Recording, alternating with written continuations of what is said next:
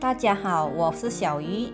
今天我们要做一个简单的家常料理——秋葵炒酱鱼子。我们先准备材料：秋葵三百五十克，洗干净，用滚刀切法，切成块状备用。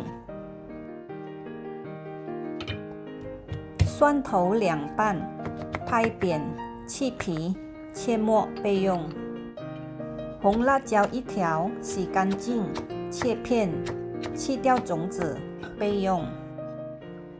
去骨的姜鱼子三十克，洗干净，备用。材料准备好了，我们现在来开始煮。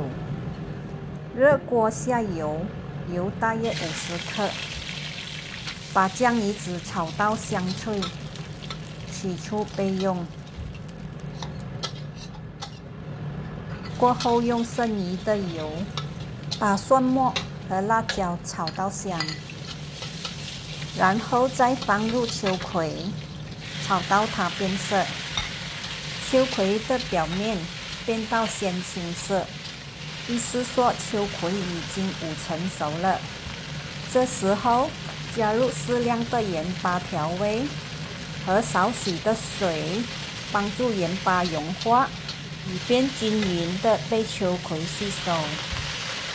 加入水之后，秋葵的黏液会冒出很多，要用大火快速把它炒干。